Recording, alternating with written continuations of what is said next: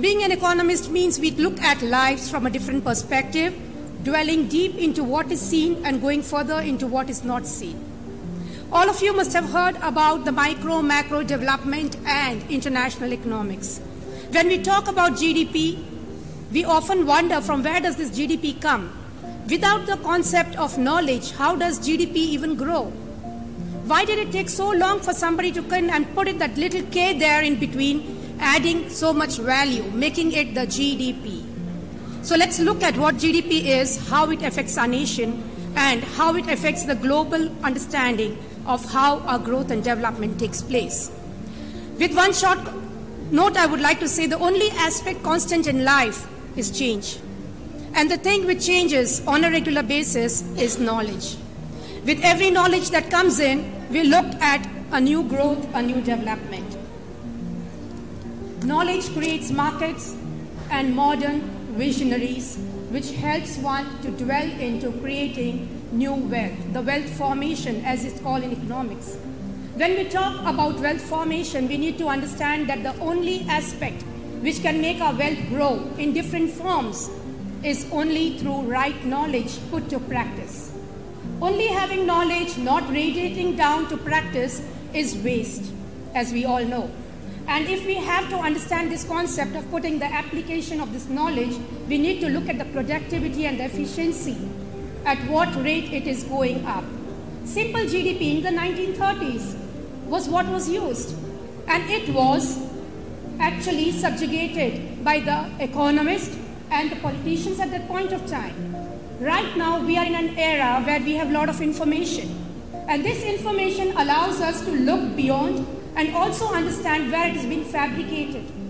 When a nation is looked at a production hub, why is its knowledge not taken into consideration?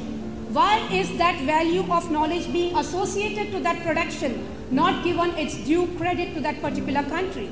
India ranks really low with its GDP and China ranking just near it only in production. What about the knowledge quotient? Is India not the knowledge hub of the world? Why is the knowledge think tank of India, the think tank of India, moving out of the country and producing goods and services in other countries, raising their GDP?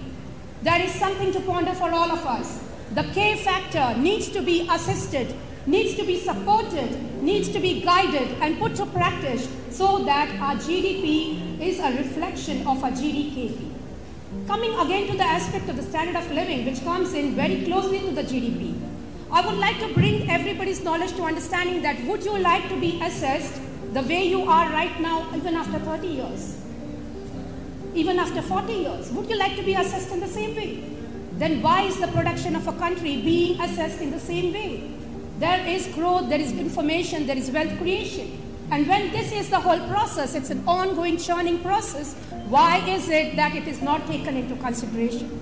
And I would write rightly and very honestly say that if it was not IMS here today, I guess there would definitely be some other country would stand up and some other institution would stand up to claim that they have been the first organization, the first institution to have brought up the concept of GDKP as a mode of discussion. So I would really like to appreciate Manchuji for having thought about this aspect.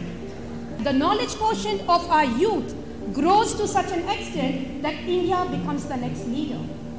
I would ask one question why next leader? Are we not leaders right now? The big bridge which needs to be cracked and which has to be created into a new form takes the voice of the youth, takes the actions of the youth, and takes the integrity, dedication, and the sincerity of the institutions like IMS.